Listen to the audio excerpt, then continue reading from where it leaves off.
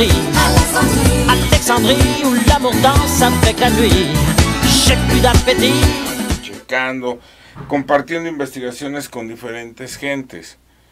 Pero lo más difícil de todo, créemelo, que es la gente que te rodea. Claro. Por ejemplo, eh, yo para ir a un antro es muy difícil. Yo es más fácil que y que le diga, por ejemplo, a Mary, oye mi vida, este, vámonos a un cementerio. ¿Me ¿No es entiendes? casual? Hoy, ¿por qué no? cenar un Vamos cementerio? un cementerio a. Hemos cenado en cementerios. Wow. ¿Me entiendes? Ahí me dio el anillo. Así, así. Yo también perdí en un cementerio. Oye, Ahí- pero ¿cómo te nació esta, estas ganas o esta curiosidad por De explorar eh, otras cosas? Bueno, todo empieza, obvias razones, la historia de Cañitas. Que Cañitas empezó en el 82, sale el libro en el 95. Y pues ya se cumplieron 21 años de que sale el libro. Publicó, sí. Claro. Es ahí donde empieza el porqué. Buscar, entender, comprender. La historia viene y encierran varios, varios capítulos muy interesantes. Mira, el primero, como un cazafantasmas profesional. El buscar, el analizar y ser reconocido actualmente por las univer- universidades más importantes del mundo. Porque el doctorado honoris causa únicamente lo da Harvard, Oxford, la Universidad Nacional Autónoma de México. Entonces es un grupo de universidades Selecto. muy selecto. Es más, es un doctorado más, más prestigiado que tener un título. Sí, claro. Que, que- que también cuesta trabajo contenerlo. Claro, claro, o sea, claro. Pero te, te imaginas yo tener un doctorado honoris causa y eso ya lo tengo. Entonces cualquier tipo que llegue y que me diga, "Eh, no te creo, eres un charlatán, ¿sabes qué, hijo? Vete, Ya ni le haces Te chingando, ¿no? Me, me explico. Sí. Por el lado de cultura, pues le gusta y no le gusta la Cajitas vendió 4 millones y medio de ejemplares y sigue vendiendo. Y seguirá vendiendo. O sea, es una historia totalmente del pueblo ya. Y después viene la película que en lo personal sí, me dio miedo. Es de las Sí, pocas sí, películas mexicanas. Pero ahí viene sí- otra sí me etapa. dio miedo. Pero viene otra etapa. En cuestión de cultura es el libro que hizo leer a todo un país. Eso es cierto también. Estuvo y se vende para universidades, para primarias, para secundarias. Para- Es impresionante. Por el otro lado, nadie le apostaba ya al cine nacional. Sí, ¿no? Nadie. Y yo le aposté y decidí hacer Y cañitas. funcionó. Y funcionó. Después salió Kilómetro 31, volvieron a hacer el libro de piedra, más negro que la noche y empezaron. 31.1, ¿no? Es el que viene. La segunda parte. Sí, pero bueno, esas ya son historias Sí, ya, inventadas, sí, sí. o sea, ahí ya nada que Sí, ver claro, con... ya lo- con, con lo que tú traías. Exactamente, entonces en cuestión cultura se ha dado. En cuestión leyenda, imagínate, llegan camiones de, de personas que vienen de otros países y que compran, por ejemplo, ir a visitar las pirámides de Teotihuacán, el Ángel de la Independencia y Cañitas. Mira, Entonces ya hay, hay camiones Que te llevan a la que casa. te llevan a, a ver la casa y se toman fotos y... Entonces ha- hay una mezcla ahí de objetivos que se han venido alcanzando muy interesantes, ¿no? Me permito darme el lujo, inclusive, y te lo digo, eh, hoy, ahorita se me complicó, pero dije voy. ¿Por qué? Porque los estimo, porque los quiero, porque los he visto. Pero, por ejemplo, a mí me invitaron hace poco a este, a una, a un canal pinchurriento de televisión que es World TV, no sé qué, pinche porquería de televisión. Yo, lo- a esa- yo, Carlos Trejo, tengo vetado ese canal. dijiste, yo no voy. Yo no voy a su chingadera y los mandé a chingar a su madre, ¿no? Oye, oye, Carlos, tengo una duda. La primera vez que viste un, un ente, ¿cómo fue? Aterrador. ¿Pero en dónde fue? Eso fue en Cañitas, me tocó ver un monje. Era un monje eh, de épocas prehispánicas, capucha, el, el cincho, vestimenta, o sea, fue en ese momento muy Te- aterrador. ¿Él tuvo conexión contigo? ¿Te dijo algo? No, simplemente se le fue encima a una de las protagonistas de Cañitas, Ah, lo vi caray. entrar muy ágil, y yo me acuerdo perfectamente, le aventé un zapato, vi que lo atravesó, vi un crucifijo, esta cosa vio un crucifijo, se hizo para atrás, se tapó y, y vi cómo se absorbió al, al piso. Obviamente para mí fue muy aterrador. Pues, ¿cómo Hay no? que comprender que en ese tiempo yo tenía 17 años. No, O sea, es un pues niño. sí. Claro. Y de ahí marcó tu, Y eso tu marca. carrera. Sí, eso vida. es, esa es la historia que Oye. marca yo tratar de entender. Entonces empiezo a buscar, a comprender, a entender qué carajos pasaba. Porque si tú te das cuenta, y es en memoria, de 1991 hacia atrás, no existía, no había ningún programa que, que hablara de fantasmas. ¿No? Justo es lo que te, es lo que te quería preguntar, ¿qué opinabas de, de que pues empezaron a copiar la fórmula, ¿no? Te, Pues sí, sí. te recuerdo mucho en otro rollo, por ejemplo, que creo que la- ahí es donde el público joven de ese tiempo te empezó a seguir y Ay, fue, es impresionante, fíjate. Otro rollo tiene 10 años. Hace poco vi a Adal, me dio mucho gusto verlo. Pero esos, esos jóvenes que, que ahora ya tienen 10 años más, ya hasta son padres. Y esos padres, sus hijos, pues más o menos ya están grandecitos. Pues ya resulta que ellos saben perfectamente quién soy. Entonces, de repente llego, ayer por ejemplo que estaba en Saltillo, que este, llego yo con, con a firmar autógrafos, llegan jóvenes con sus hijos. Si yo es que yo te seguía, yo ahora mi hijo también te sigue. Y dices, wow, qué, Sí, qué sí, cosa claro. tan, tan impresionante. Ahora, Yo, las redes sociales, bueno. bueno, las redes sociales están a todo lo que dan. Las Antes, redes o sea, sociales antes de YouTube, ¿cómo podíamos trascender? ¿Te das cuenta? Pero ahora- Costaba mucho trabajo. Sí. Las redes sociales, ¿cómo te han ayudado a ti o te han perjudicado? Porque de alguna manera ahora ya cualquiera o podemos tener un teléfono inteligente que ya podemos grabar Mira, yo, situaciones. yo, yo creo que son varios aspectos. Yo creo que la, la vida ha ido cambiando, se ha ido modificando en muchos sentidos. Socialmente hablando, estamos totalmente en un concepto muy diferente a como vivíamos. Yo cuando era niño, pues cuando me iba a imaginar eh, la botella de agua, era agarrar la manguera del Sí, claro. jardín y a tomarle, ¿no? Esa es una. Cuando reprobabas, pues tenías chance de repetir el año, o no te mandaban al psicólogo, ¿no? O sea, han cambiado todo eso. Somos privilegiados. Hace 10 años nosotros no teníamos esto. Pero también la gente ha perdido la capacidad de asombro. Sí, ¿Crees claro. que la gente se siga asombrando con los fantasmas? Pues fíjate que eh, te puedo asegurar que hay dos cosas que no, no veo que cambie el factor asombro. La pornografía y lo que es el fenómeno paranormal. claro, por algo es un es un medio que Ha, ha habido mucha gente que ha en tratado... cine y en otras cosas. Mira, hay, hay gente que ha tratado de estúpidamente en su poco, en su pinche cerebro de porquería, piensan que uno está sentado en el trono de lo paranormal. ¿no? El Maussan para mí no es santo de mi devoción, al pinche viejo lo, lo detesto, lo odio, no lo trago. Pero tengo que reconocer que cuando se habla de extraterrestres, pues es ese cabrón. Pues, ¿Qué le puedo hacer? Sí. claro, no, es, no, no, no, es la referencia de Claro. sí, claro, Claro. O sea, no puedo negarlo. Pero cuando se habla de fantasmas, pues estrejo. Eh, Sin duda. O sea, ¿me explico? Bueno, y ahora pero, de ¿y- ¿y, repente- cómo ves tú que se haya copiado tanto tu, tu fórmula? Pues está padre, ¿no? Está padre porque pues a fin de cuentas pues dejas una trascendencia, la gente lo quiere hacer. Muchos han querido imitarme, pero nunca me han podido Igual. superar, ¿no? Hay entes que aparecen y, por ejemplo, dicen de Michael Jackson. ¿no? Estuve yo en la casa de Michael Jackson. En la casa de Michael. Estuve, fíjate, el único mexicano que entró a Neverland. ¿Cómo te sentiste de estar ahí?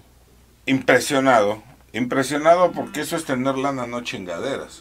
O sea, Neverland. Punto número uno. Neverland. Pues que una cosa es ser millonario y otra cosa es Sí. tener lana. Y otra cosa es ser Michael Tener Jackson. Sí, lana. tener Sí, claro. Michael Jackson. Mira, simplemente Neverland, para que ustedes tengan una idea, en terreno estás hablando del Metro Hidalgo a Tasqueña. En terreno, Joder. nada más. La casa, puto, o sea, olvídate, estás hablando de los pinos.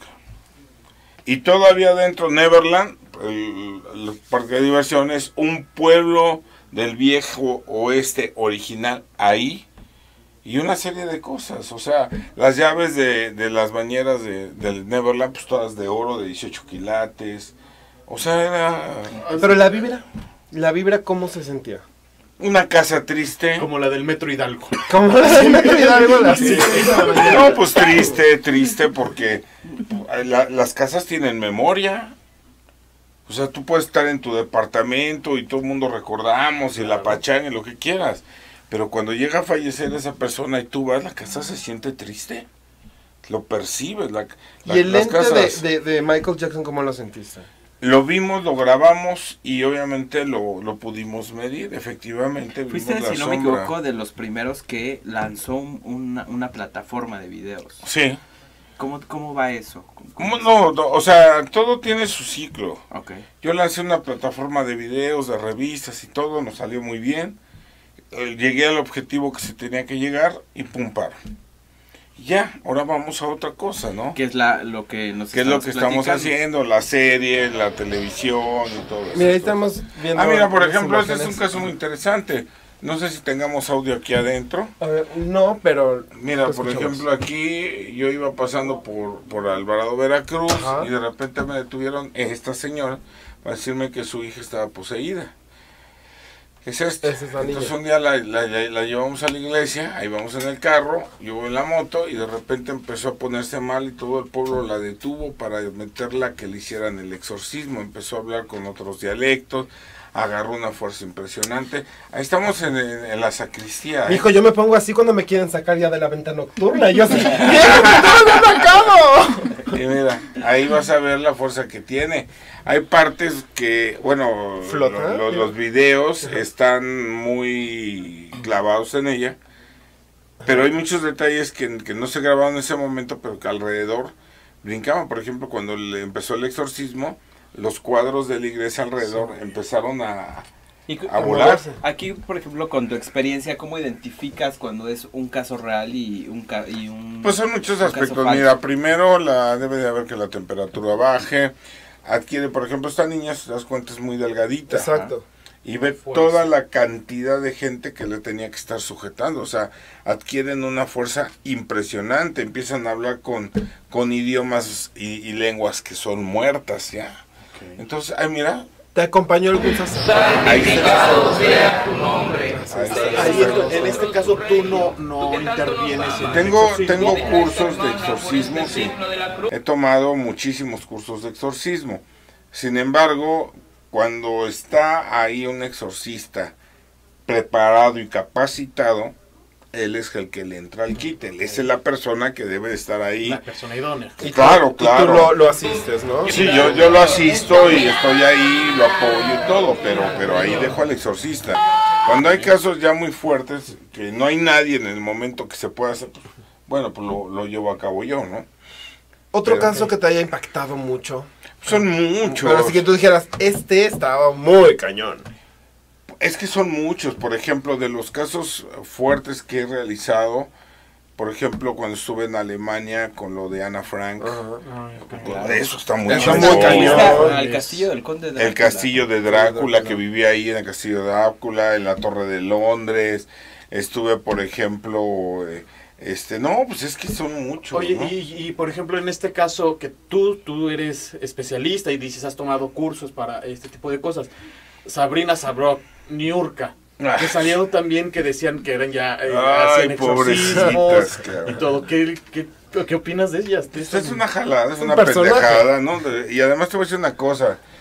eh, la culpa no es de ellas. Las culpas es del pendejo que las anda orientando o, a- o decir, haz esto para llamar la atención de la prensa, ¿no? Y ahí van. Y ahí van las pendejas de hacer eso. Y lo único que hacen es el ridículo. Y después, cuando uno abre la boca y oye, pues estás mal. Ellas piensan que gritando y haciendo majaderías, pues adquieren una personalidad. O sea, una cosa es ser un arti- artista, es un creador. Claro. Un artista es alguien que modela. Esto es ser un artista. Por ejemplo, Roberto Gómez Bolaños era un artista, todo lo que creó. Sí. Sí. Pero tú te presentas, porque- con- que alguien llegue y diga, ah, este es el poseído para que llame la atención de la. De Pues es una chingadera. La otra vez estaba viendo, hay una prostituta en muy su rollo, muy su cuerpo, muy, sus- muy sus nalgas, ¿no? Y la otra vez la sacan en TV novelas, oye, ¿hasta dónde estamos cayendo? Sí. O sea, por Dios, o sea, ¿qué está pasando con México? Ah, Y lo peor es que eso, lo ¿no? creen. O sea, el pueblo realmente El morbo al está final tan es el que sigue. Bueno, te voy a decir necesidad de algo, mira, hace, poco, y eso también fue una de las cosas que me, me cayó, pero como patada al hígado que presentan en primero con, eh, en Buenos días con Paola, el de las 7 de la De las mañana. ocho, de 8 a 9. El, el- la llorona que estaba en reforma. Tú volteas y dices, Paola presentando eso. Es una chava universitaria, una chava estudiada, una chava con un, un, un rating importante, con uno de los noticieros más importantes y su asistente presentando esas mamadas. Ese mismo día, en cinco minutos, yo me presenté en Reforma, chequé, chequé los cuadros de las cámaras del C4, hablé por teléfono con los comandantes y en tres minutos dije, esto es un fraude. Y se los demostré dicho y hecho. El Sí, problema sí, no era eso, el problema era cómo se atreven a presentar algo así y tienen el poco cerebro a no pensar que un viernes o un sábado que todo el mundo está hasta el gorro cerca de la zona rosa y se presentan ahí a buscar el fantasma. Imagínate un cabrón pedo, Claro. lo van a matar. Claro. ¿Me explico? Entonces, muchas veces la gente o los pendejos que no toman las medidas o, o se les abre un poco el cerebro para que se den cuenta la desgracia que puede suceder presentando a un tipo de gente así. No, aparte, ¿sabes qué? Es, esa, ese video, obviamente fue falso. Claro, Porque era parte Obvio, de una falso. campaña de la. de Pero la eso ya fue después de que yo lo denuncié. Sí, Sí, esto exactamente. lo acaban de publicar. de- Yo- justo lo que tú dices, como presentar en un noticiero nacional algo que Por Dios, o Estás sea, jugando con la información de, de la gente y eso no sé. te dejaste llevar por lo viral. Oye, ¿y a ti no te han buscado, eh, no sé, padre de los 43 normalistas desaparecidos? tuve, ¿De sí, alguna- sí, sí, sí, claro que sí, estuve ya platicando con ellos. Este, pero mira, el problema en esto es que hay muchos intereses políticos. Y tú dices, ¿cómo intereses políticos? Sí, pues nos falta un pendejo diputado y que quiere lanzarse como candidato a no sé qué. Entonces tiene que salir con todos pues, para decir, hey, véanme, estoy aquí apoyando. Ay, no, chingo. Vas, ¿me entiendes? Sí, sí, sí. Desgraciadamente, dentro de la política, dentro de la sociedad, hay mucha gente que está muy podrida. Yo no puedo creer que un 15 de septiembre tengan que Atraer. haya gente que con una tortilla y un refresco Sí, sí, sí. llenen una plaza para gritarle un wave. Bien, viva Viva. Por Dios, güey, o sea, ¿me, me explico? O sea, eso se me hace la parte podrida de México. Hay gente que somos pensantes, que somos realistas, que, que no vamos de acuerdo no a esto. Yo te voy a decir algo, mira, la eh, el mejor ejemplo que te pongo de cómo este, este tipo de gobierno ha venido manipulando al pueblo y cómo le vende las historias falsas. Todo el mundo festeja el 15 de septiembre. ¿Estás o no Es estás de acuerdo? Sí, Ujú. claro. Pues el 15 de septiembre no fue el 15 de Ni fue el 15, ni. fue el 16 de septiembre. Don Porfirio Díaz trajo la campana de Dolores el 15 de septiembre y la toca el día y hora en que nació. Todo lo que se está festejando es el Es el nacimiento de Don Porfirio Porfirio. Díaz. ¿Cómo? Pero en la monografía dice el 15. Y a mí me reprobaron por poner 16. 16. Sí, es increíble. Oye, ¿no? yo tengo una duda. ¿Usas algún tipo de protección, dijo, para cerrar la entrevista? No, Después de, de tantos entes que vienen a visitarte. no, ninguno. ¿Tú? Digo, lo pregunto por los tatuajes que tienes. Entonces, Ah. dije, a lo mejor hay alguno de protección. Pues bueno, todos tienen una historia. Este es una, esto me lo hizo un antiguo Indio Shux. Ujú. Este sí se supone que es para cerrarte ante malos espíritus. Bueno, pero esa es la creencia. Sí, sí. A mí en lo particular me gustó. Esto, bueno, me, me encanta, es un atrapasueños. Sueños. Es la bandera mexicana y la bandera de Estados Unidos. Y es una forma que tengo como para decirme a mí mismo que, que he podido lograr esas conquistas maravillosas tanto en ese país como en este. Este, bueno, es un, un grupo de rock que me encanta, Guns N' Roses. Ah, que- Guns N' Roses. yo creo que a todos. Este es el reflejo de la muerte de mi hermano, uno de los protagonistas de Cañitas, que me la tatuó aquí. Este es Quetzalcoatl, Está precioso. una historia verídica increíble. Este, obviamente la cruz, mis primeros tatuajes. Yo no tengo tatuajes. ¿Y Nada más esto? tengo estrías. Mi animal print. ¿Te Y esto, es lo, esto es lo que más me gusta. ¿Qué este dice? es el que está, está al revés Ajá. y es así como que para mí Entonces cuando me estoy bañando, me estoy arreglando ante el espejo, pues se voltea, está, está ¿no? padre eso. Sí se voltea. Está bien padre. Entonces ya siempre me estoy arreglando, ya lo veo. Y entonces lo que dice aquí es tienes derecho a poner una rodilla en el piso, pero jamás las dos. Mira. Entonces así como que dices, puta, que porque el día, que, el, día, el día de ayer ya se terminó. Ahí ya quedó. Y entonces desde que amanece vienes desde cero otra vez. Entonces hay que darle, porque a fin de cuentas tu vida se va a pasar, se va a pasar, se va a pasar. Y no te puedes quedar anclado en un momento de tu vida. ¿A qué me llamo? ¿A qué va? Ah, llegas a la casa de alguien y está el abuelito y entonces el abuelito te dice, ay, la- yo estaba en la época de la revolución y ya sabes, ¿no? Y sale el, ay, ya te está platicando la vida de la revolución. Porque el señor se queda anclado en esa En etapa. ese momento. No hay otra etapa más importante en toda su vida, más que esa. Pues ya ahorita ya está. O de que te hablan de los ex, cosas así. Entonces, esa es una de las cosas que... Oye, Carlos, ¿y pasa. te vas a presentar ahorita en algún lugar? ¿Vas a dar conferencia? Acabo de terminar en Saltillo, Monterrey, Monclova, regreso a México y ahorita, bueno, ya estoy preparando lo que va a ser las siguientes presentaciones. El día 20, este jueves, ¿verdad? 27. Este jueves 27. ¿Qué pasó? No, no, ¿Qué no, ya pasó? No, no, estamos a A 31. 24. Hoy es 31. Ah, sí, ah, sí, sí. ¿Cómo te Ah, sí, sí, sí. Ya pasó. Ya pasó, ya. pues, ¿Cómo? ya. ¿Te fue muy bien? Sí, no, estuvo de poca madre. Este, bueno, el día primero de diciembre, Ajá. este, se hace el tradicional Halloween de Noviembre. cañitas. De Primero de noviembre, noviembre. primero de O sea, noviembre. mañana. Mañana. Mañana. Es el tradicional Halloween. Se hace en la calle. Hay dos, este, van a estar dos sonideros. Va a haber cuatro bandas de rock. Van a abrirse dos casas. Y es la, el único día en que se abre la casa de cañitas para que ¿Y va a tener algún Wow. costo? no, nada, No, nada, no. todo Todos todavía está disfrazados. pagado. Pues ya Y hay muchos programas que tienen ustedes la invitación que hacen sus programas ese día ahí en Ay, Cañitas. ay, Muchas gracias. Ahí te estaremos visitando mañana. Ahí está la invitación para todos ¿Qué, qué, ustedes. qué dirección es? Es Cañitas 51, Colonia Popotla, exactamente atrás del Metro Popotla. No hay pierde, y va a haber así de gente. No, va a estar O sea, hasta el sí, full. sí. Hasta el gorro. Empieza- y de hecho, a las 5 de la tarde en el Monumento a la Revolución va a haber una rodada, van a estar todos los motociclistas. Y de ahí. que eres amante igual de las motos. Sí, sí, sí, no hay otro Es transporte, tu sí. mujer y la moto. Y Es cañita. mi, mi moto y mi mujer. Y cañitas. Ahora le va a dar miedo a él, ¿eh? Oye, te tengo un regalo. A ver, Porque sé que te duele la- el, el diente y te Sí, dije, joder. me dijo, oye, mándame un ketorolaco, algo para... ¿Qué te dije? Dije, ¿pero qué crees? Te voy a dar algo para que te lo tomes. Y- Entonces, pues mira lo que te tengo. Esperemos que te guste. Ah, muchas gracias. Es tu taza VIP. y obviamente, gracias. como sabemos que te gusta la moto, con tu moto. Sí, no, mira, ahí, ahí se puede ver. Padrísimo. Eso- esos detalles son increíbles.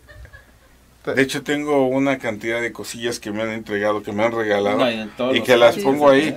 Tengo en la, en la casa eh, un, un baúl que era de Jaudini. Con todo y el muerto. No, ese lo tengo en, y mis estudios de grabación que están en la parte de arriba. Cuando le hablé con un amigo, le digo, tengo ahí un, ba- un sarcófago lleno de material, de cintas de que he grabado- que he grabado. Y él pensó que era broma. Y cuando Híjole. llegó y vio el ataúd, dije, no Ah, no, chingues, sí, ahí lo tengo, lo Y tengo. sería increíble. Muchas gracias, sí. Algún día nos tienes que invitar a hacer un Pues ya tienen la a invitación. Pues ya estás, vamos a tu casa y grabamos. invitación mañana. Ya estás. Mañana, Mañana vemos vayan y en pueden inclusive si gustan, tienen eh, armamos ahí un pequeño forito Ah, y armen su programa y transmitan desde ahí sin Eso problema. muy padre. Claro que sí. Esa casa ha sido famosa gracias a todos los medios de comunicación Claro. y esa es la mejor forma de decirles a todos que los estimo, los quiero y los respeto muchísimo. Ah, Entonces, si quieren armar su programa ahí, Ahí pero te, ahí te caemos, Carlos. Ahí a Que, a las, transmitan de ahí, está padre. a las quecas también. Me tienes mi pastel porque hoy es Ya mi está. cumpleaños. Entonces, Ah, no, ya está. ahí. Ya está. Oye, igual te queremos y te Gracias. adoramos. Muchísimas Gracias. gracias. Muchas gracias. Esta es tu casa. Muchas Carlos, gracias. Cuando quieras regresar, aquí te esperamos. A la Nueva quieran, investigación ya y ya. saben. Ya estás. De hecho, yo les nos ponemos de acuerdo mañana, voy a hacer algunas investigaciones y sería padre que nos acompañen. Ajá. Es Wow, más, si transmiten ahí, ahí este, no sé, a lo mejor regalan unas cortesías, unos 5 o 10, que nos acompañan a algún cementerio a hacer una investigación. Ay, Ah, Está padre. ¿no? Ya está. Está padre. Ándale. Pues nosotros vamos a un corte y regresamos porque viene Liz Vega y nuestros amigos del show de terror de De Rocky, Rocky. al programa hetero friendly más famoso de la web que es VIP. Vamos y volvemos. Mucha suerte. Alexandrie où l'amour danse avec la nuit. J'ai plus d'appétit